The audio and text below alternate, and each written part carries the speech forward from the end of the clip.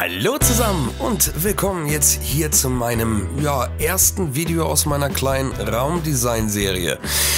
Ja, ich habe mir einfach mal gedacht, da ja schon die Möglichkeit jetzt hier in die Sims 4 besteht, ähm, euch nicht nur komplette Häuser zu liefern, sondern auch einfach nur, ja, einzelne Räume. Angefangen hier jetzt in der Serie mit einer Küche. Ich hatte auf äh, Twitter und auch auf Facebook mal nachgefragt und äh, da kamen ein paar Antworten, äh, dass Punkt 1 Interesse an dem, meiner so, so, ja, Serie besteht und ähm, es wurde sich unter anderem halt auch eine Küche gewünscht werden natürlich noch weitere Räume folgen, wie Badezimmer, Schlafzimmer, Kinderzimmer, Wohnzimmer und so weiter und so fort, was eben zu einem Haus dazugehört. Habt ihr bestimmte Wünsche, was jetzt hier meine Serie angeht, was ihr auf jeden Fall an Zimmern haben wollt?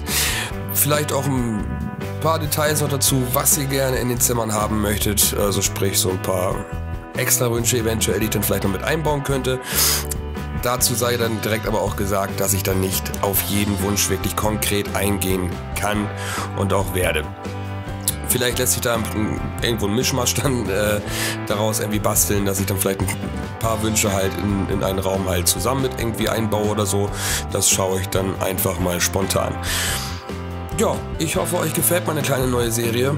Ähm, hab mir einfach mal gedacht, ähm, die, die Möglichkeit jetzt zu nutzen, hier in Sims 4 halt nur ja, die Zimmer teilen zu können.